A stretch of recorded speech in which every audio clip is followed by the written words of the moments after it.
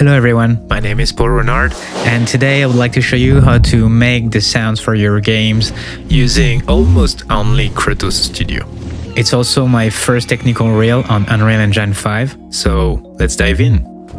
Using the Unreal Learning Kit, I managed to make a little platformer where you have to get two magical items to be able to finish the level. But first you have to get the keys to have access to the magical items. I started by recording different ambiances that would change dynamically based on the vector Z of the character. Using a Blender track, driven by an RTPC, wherever the player is, the sound is gonna change. Let's give a bit more context.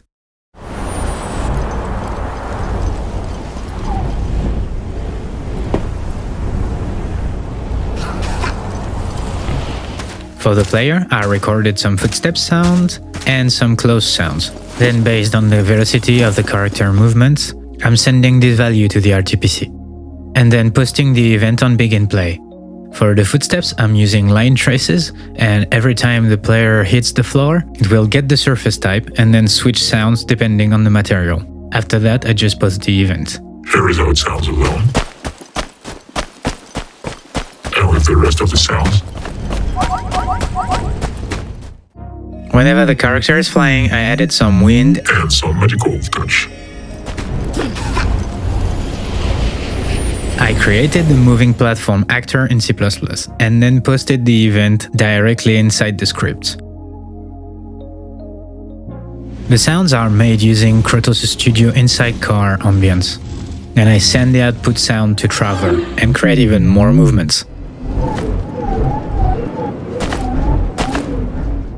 For the occlusion, I made a whole system. In the environment blueprint, I'm getting the listener position and the actor location. Then I'm setting a max distance variable, and if the distance between the source and the listener is less or equal to the max distance, then I'm drawing a multi-line trace per object, and setting the RTPC on the out hit. To have better controls when it comes to wall, I create another variable, which is gonna be the occlusion per hit and depending on the amount of objects that are separating the source from the listener, it gets more occluded.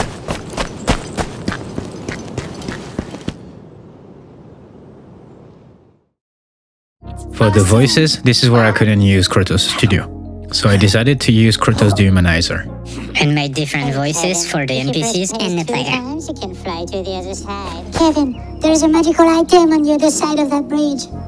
To make the portal sounds, I used Krotos Studio again and I send the output sounds to my recent Sunshine patch. All of the rest of the sounds have been made with Krotos Studio. The UI sounds, the buttons, the doors. It's a pretty fun and fast way to get the sound you want. Now, if you need sounds for your games, don't hesitate to contact me. Have a good day, everyone. Peace.